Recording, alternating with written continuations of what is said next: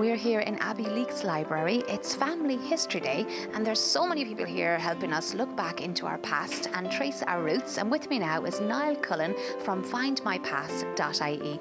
Niall, so what exactly will you be doing here today? Uh, well, basically, we're here to help people, as you said, build their family tree, trace their roots, go back in time. Um, it's to do with the 1916 rise, and obviously that's a big thing in Ireland at the moment, um, the centenary year. So everybody's kind of getting interested in their family history and where they come from, and, and if they were involved in the 1916 rising.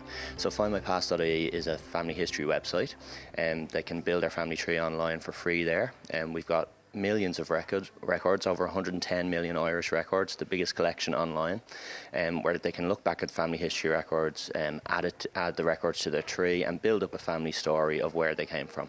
Now, how does that work? Do I go online, type in my name, and go from there, or what way does it work?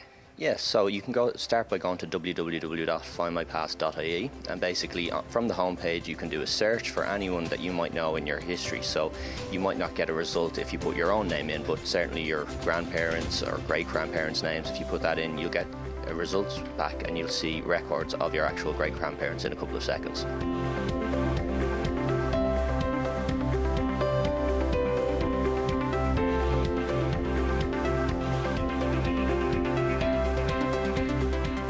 Fiona Fitzsimons, you're the director of Eneclann. When did you set up Eneclann? I set up Eneclann with Brian Donovan in 1996. We were both graduate students in the School of History in Trinity College, and we were looking for ways of funding our PhDs.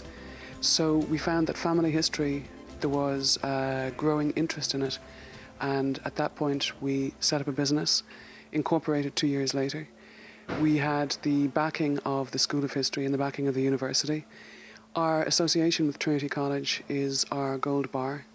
In a sense, it is our it's our mark of quality that we have the skills necessary to do family history research, but it's also our mark of reliability. We're uh, an established company. Um, we do very good work. And uh, over the years, um, you must have met so many interesting people. Was there ever a moment where people, when they went back into their past, that they'd rather they hadn't? Um, there are very few things that people. There are very few things in the past I think that people will shy away from. You're not responsible for what your ancestors might have done in the past. We have come across just about everything you can imagine. Open up a newspaper now. Anything that you see, any crimes, violence, murders, um, you will encounter that. The archives are a they are a record of what's happened in the past. And although society changes, it doesn't change that much.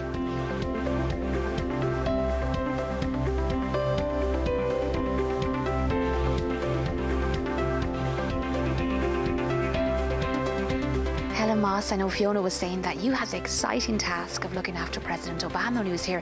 You traced that family back to... Back to the 1690s, yes. pretty amazing. Now, I know you got to meet um, the First Lady. Yes, Michelle and the two girls. They were probably jet-lagged, but they were still very interested in the story. And what was their story? What, what, did they, what did you find out? Well, we traced them, the Kearneys back to um, Sh um, Shinrone, where they were, um, they were involved in the wig-making uh, process. And Amazing. Yes, yeah. And then Michelle said something to the girls uh, relating to hair and shoes. It was shoes as well, because when the Kearneys left Ireland, they were cobblers in the 1840s. So amazing fashion, um, fashion industry. Yes. And Michelle, who's beautiful and always looks amazing. Oh, she's very striking, brilliant, you know, lovely, very tall, beautiful hands. You can't so her past really influenced her present. Well, possibly, but except it wasn't her side of the family. It was um, it was the president's side. well, it influenced somehow then. yeah, yeah, yeah, maybe, yeah. But, um, what did the girls think of that? Uh, I think they were both very interested. And um, when when when they arrived there, Fiona said, "Welcome to Hogwarts," and they thought that was a great laugh. But I'm sure they were also very tired, you know.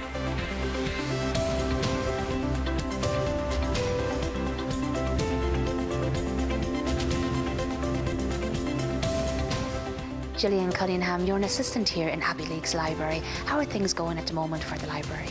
Things are great, Angela. Things are really good here in the library. Our borrower numbers are up. Um, it's free now for everybody to join the library from all age groups. And we have lots of talks as well going on at the moment for the 1916 commemorations, which are all free. We have um, our chess, which is every Saturday. We have our knitters who come in on Wednesdays. Everything is free to come to. And we have French classes, which are starting this evening, and they're also free and will be running for six weeks.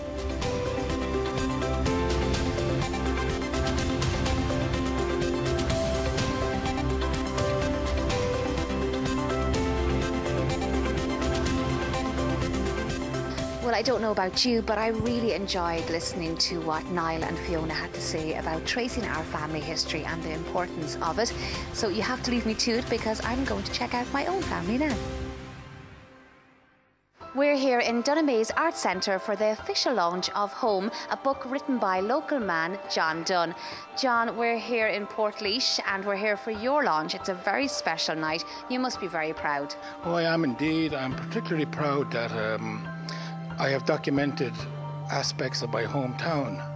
Um, my family has been in Portlaoise for nearly 200 years, and I, I feel proud that, um, without sounding arrogant, that I'm leaving something behind me for my own children primarily grandchildren and future generations. And uh, so I'm very proud. And I'm also particularly proud that the book was designed by my own son.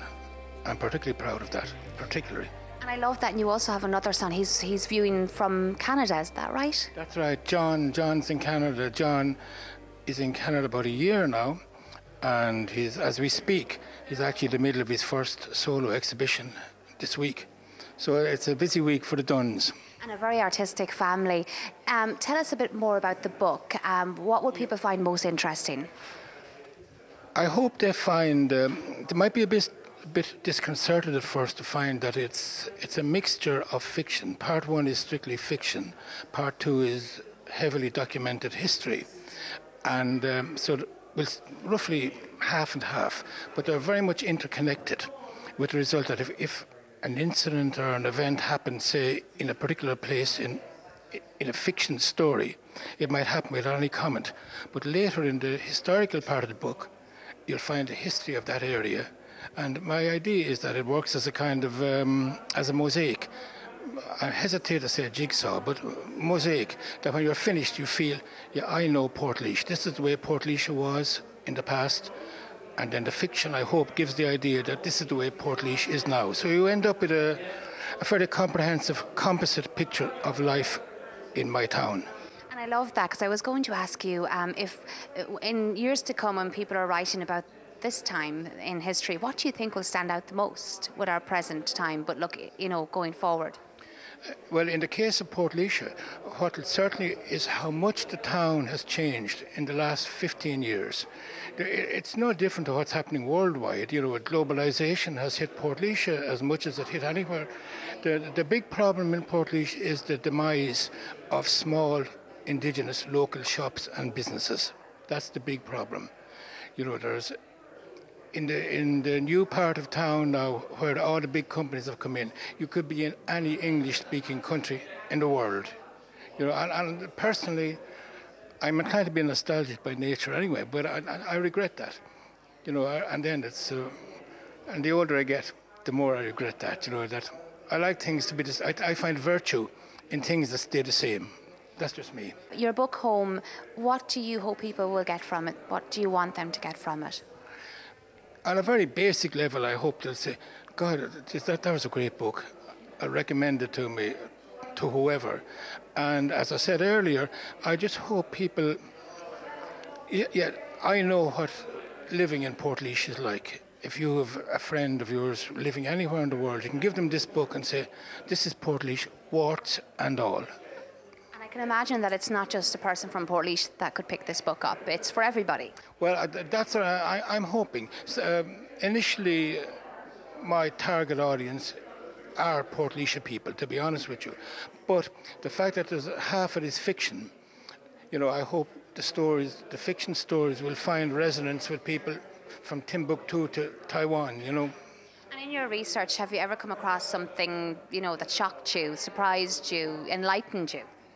No, uh, the, the one thing that, that has come to me from history is how little things have changed.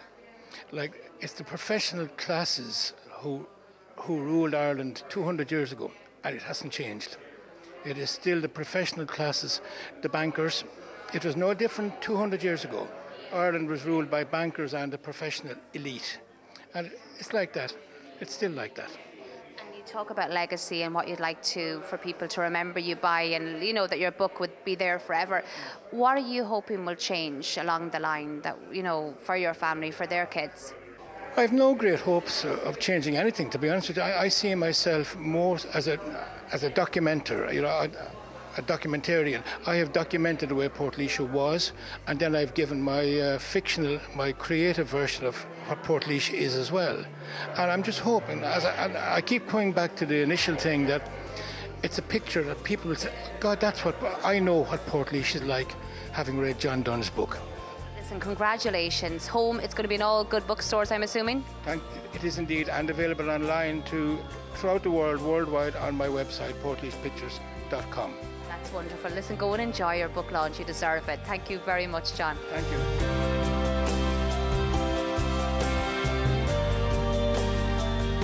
Congratulations and well done to John Dunn on a brilliant book launch about his book Home. But sadly, we have run out of time for tonight. I really hope you've enjoyed the show, but remember to tune in at the same time next week because Laois County Matters.